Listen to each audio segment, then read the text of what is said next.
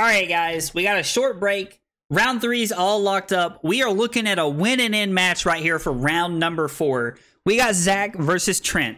This is a win and in. We have we have one table that is locked for sure, and we think two more tables are locked. So everybody had a little bit of extra time this afternoon, so we decided to do a, a cut the top eight. There's only 13 of us, but everybody wanted to play some more games, so we thought, why not? Let's cut the top eight. Let's play out top eight. So we're going to be doing a top eight cut today since we're a little bit ahead of schedule. And by a little bit, I mean like an hour, an hour and a half. so we're rolling right along. Um, we're just uh, we're waiting on these guys to get started here. It looks like Trent's going first. So Trent's going to roll a four ski here to start the game out here. And we're going to start off with a claw. I like that. I like that. Starting off with the claw here. Zach's going to do everything he can to try and uh, lead up life total a little bit. It's also worth noting that Zach is starting with 68 cards in deck, and Trent only has and Zach and uh, Trent only has 60. Yo, Max, what's up, dude? How are you, brother? You doing okay today, man? All right, into a CNC where Zach decides to take six. That is a really interesting decision and tells me that he must have something really good in his hand here if he's deciding to take six. That is like taking six on turn, like on turn zero, is like very aggressive here. Okay, so we pitch in an E-Strike and a Sink Below to come in with Red in the Ledger for eight here. Death Dealer gives us the extra card, so we'll be able to Arsenal one here. I'm kind of intrigued that Trent decided to throw the CNC here on turn zero instead of like maybe arsenaling it. I'm going to assume he had a power card like Blood Rush um, maybe an Alpha Rampage, like a, a pretty good power card here to hang on to, I assume is what we're going for.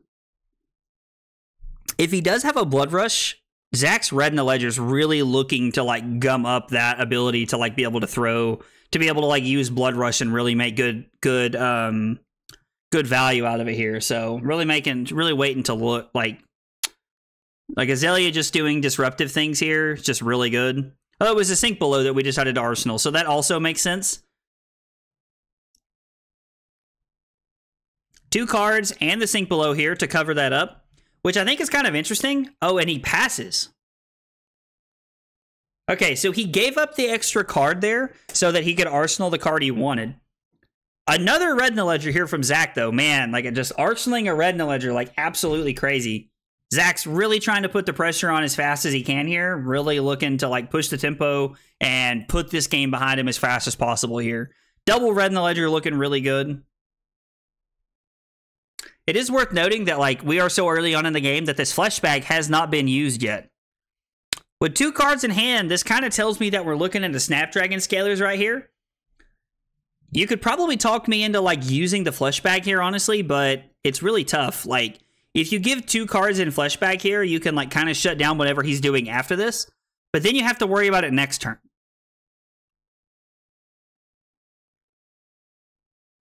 Trent might just be content here with taking two, honestly. Like if we're just looking at taking two, like Trent probably does. Oh, another sink below. Okay. Yep. So Zach used snap snaps there. We cover this up. And we have one card in hand, one in arsenal for Trent, two cards in hand for Zach. Death Dealer to load in Infecting Shot. And then we're going to pitch Deadeye to come in with Infecting Shot here. So we're just, again, we're just trying to keep the pressure here, keep the tempo up. We push through five points of damage and give Trent a Pox token here. Okay, using Tunic and a Reinforced line here to play Swing Big. He's also playing Reinforced the line into Azalea, which is really interesting. I think that's gonna, you know, make Zach think just a little bit here about how he wants to play out the rest of the game here. Lace with Frailty and Fate Foreseen. And Zach opts a card to the top. And then he gives another Fate Foreseen. Wonder why he gave both Fate Foreseens and a Lace with Frailty. I assume Zach's going to give us just a little bit of info here on what's going on because I don't really understand the thought process for that line of play. Even if he has a codex, he could have played the pump there.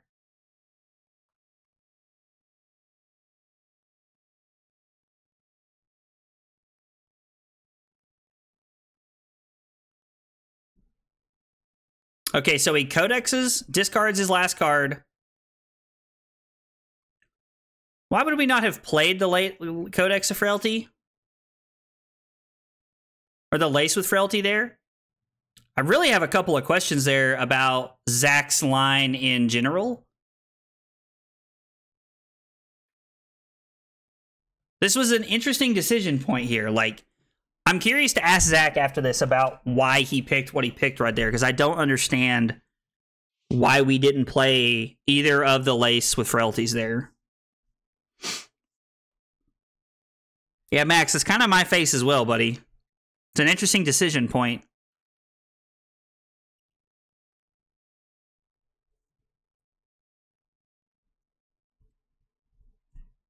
I wonder if we'll see two cards from Zach, or if he deems going to 28 is better to be able to keep his four card hand.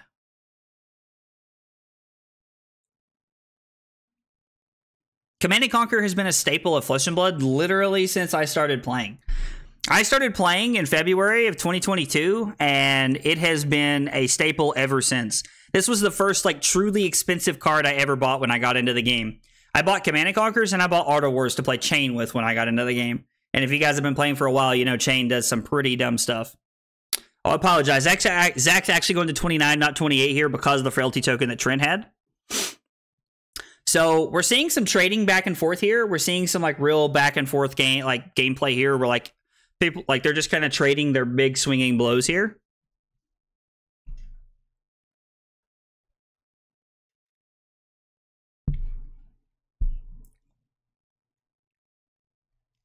So Zach pitches Codex of Frailty to activate Death Dealer to load in Remorseless. And now we're looking at making some decisions here. Lace with Blood Rot and Remorseless for 8. Hmm. Makes me wonder if Zach's stuck with like two arrows in hand, maybe?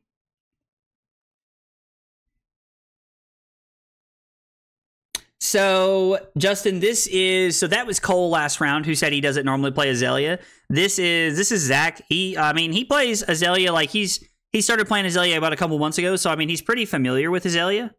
Um, at least from like, you know, like my understanding of it. So, I think he's pretty familiar, but it's very possible that, you know, he thought maybe he had to have a card in hand for Codex. It is something that could have happened. I mean, you know, when you're playing when you're playing in you know matches over the course of you know, over the course of you know, a few hours, it's tough sometimes to know, you know, it's easy to forget certain things over the course of tournaments and weekends. So, so Warmonger's diplomacy here really looking to put a damper on Zach's plan. And then Trent chooses to pitch his two cards instead of taking um, instead of taking the two damage to Arsenal something there. Oh, excuse me. Excuse me. All right, starting off with five go again. Five from the like E strike from the arsenal here to play around Warmonger's diplomacy. Very good. It's a very good line of play for Zach to have right here to play around the Warmongers. Wow, and a Ravenous Rabble. Man, what a turn for Zach to have Ravenous Rabble and E Strike to play around the Warmongers. Absolutely insane here. Crazy. And he comes in for four. Trent decides to go to 20. And now Trent has three cards in his hand and a tunic counter at his disposal. This is going to be E strike for seven. Yep. So throws E strike for seven here, and he's going to look to Arsenal we have yet to see Trent really have an explosive draw today. Like Trent hasn't really, you know, like in the games we've seen Trent playing today, like he hasn't done anything with Blood Rush yet. Like, you know, I don't know how his other rounds have been going. Um, I know that Trent is one and two, looking to uh, looking to get a win in here for this round. So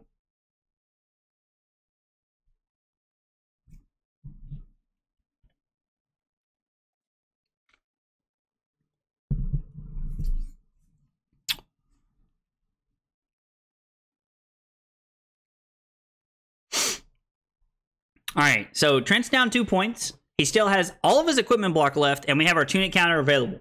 It is worth noting that Zach has five cards coming into this hand, four in his hand and one card in his arsenal. So Zach's probably looking to like play a bit of offense himself here this turn.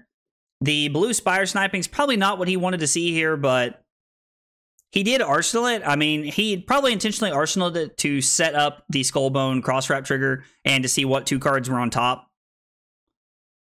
Read the glide path. Oh, excuse me. So he read the glide. He re, plays read the glide path to opt a card to the top of his deck. So he wants the sleep dart on top of his deck for next turn. I assume we're setting up. Rabble hits for four. Endless Arrow comes in for seven. Dominate. Trent's going to give a card. I'm curious to see if he has a defense reaction in his arsenal here. Gonna block seven. Plays one rainy boy.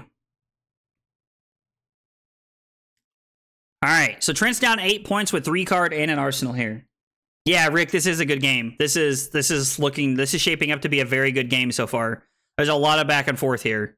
Man, Trent cannot buy a roll today. I haven't like he rolled a four on the very first turn of the game, but like I have yet to see Trent have a good roll outside of that, like at all today.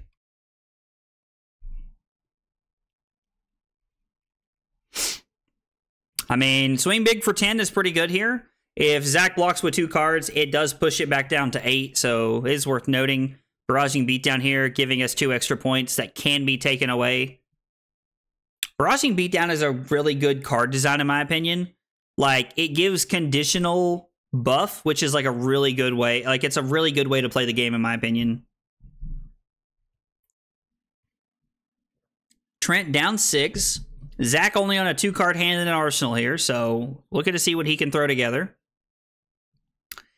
Strike Go again into Endless Arrow is pretty good here. I mean, it's a nine card, three point hand. Like, or it's a 9.3 card hand. Good lord. Nine cards and three points? That'd be a terrible hand, guys.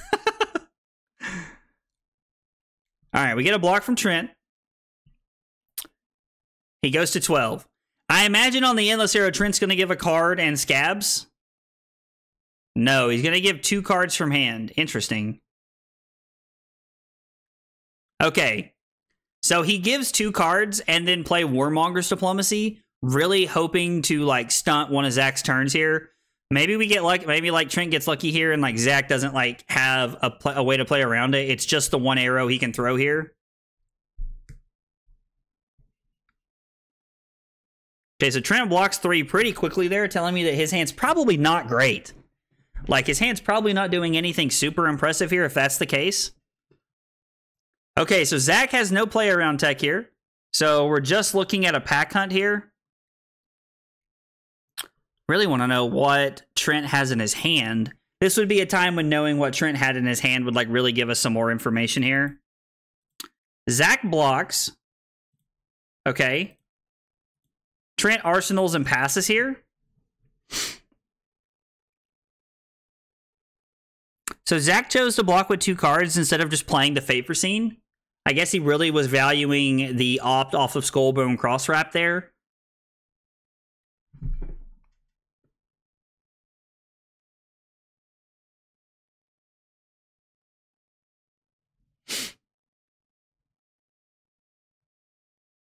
Seek and destroy, seek and destroy, spire sniping for nine, dominate. Man, it's a pretty good, pretty good uh, blue spire sniping there. I mean, not likely Trent's going to be able to cover this up completely here.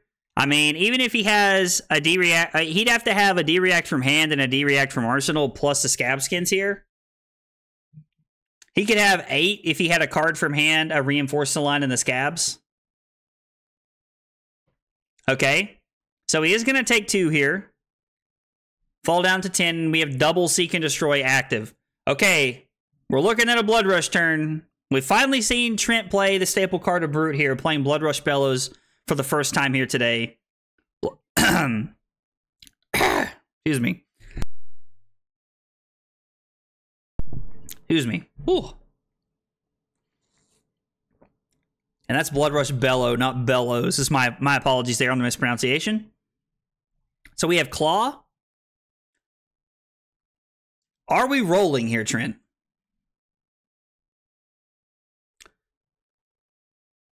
Using Tunic and Command and Conquer to come in with Mandible Claw for five. And then we're going to Arsenal and pass. I mean, oh wow. So he actually gets. Oh no! But the second, did he just beast within into a beast within to discard? Oh my gosh! Trent's deck is willing him back to life here to try and do everything he can to keep a card. Now Trent is down to six. We had a pummel and a sand sketch plan. Wow. Wow. Trent on yellow pummel though. That's kind of spicy. I like the resources from the yellow pummel, but I also like the ability to be able to like pump something up. Zach's only working with a two card hand here. He has two cards banished face down for some reason. I don't understand why he doesn't have those cards back.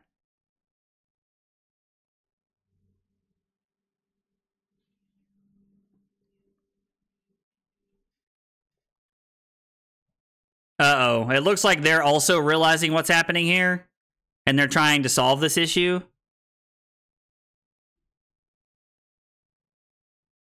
Wait a second.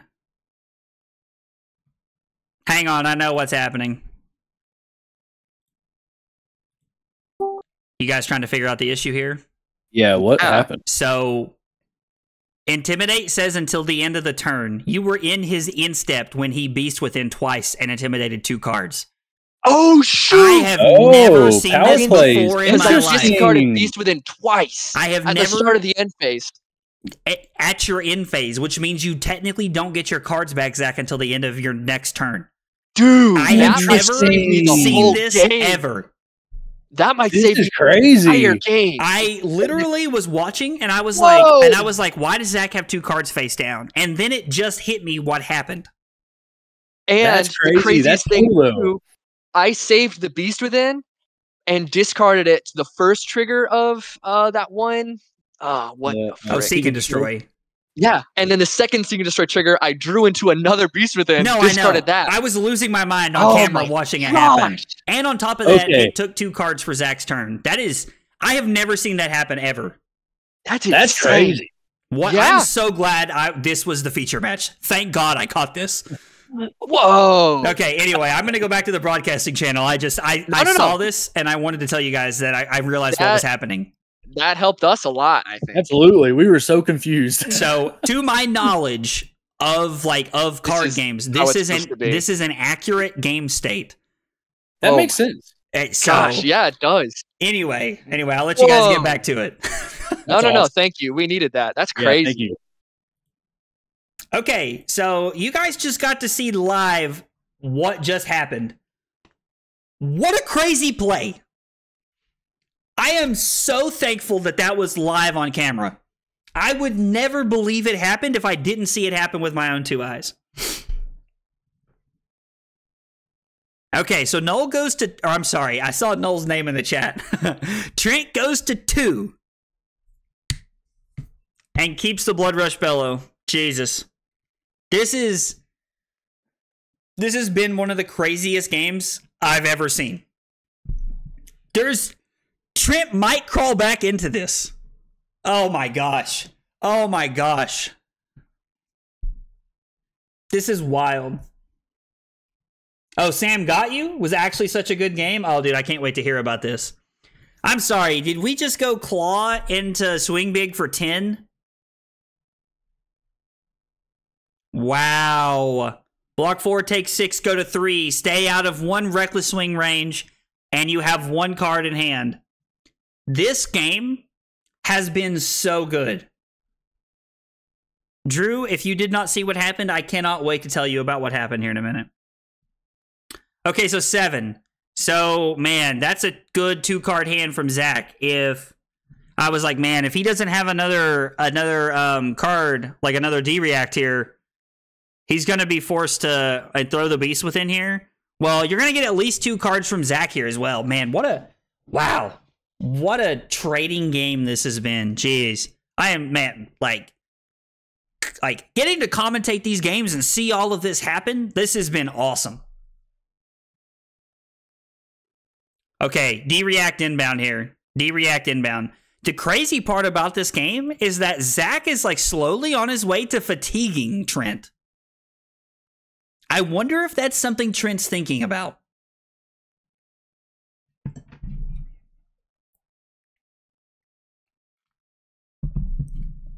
Man, this is a tough decision. One rainy boy here could end the game.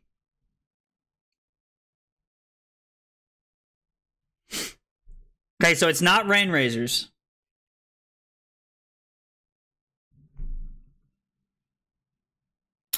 During your action phase. It does say during your action phase. Oh my god!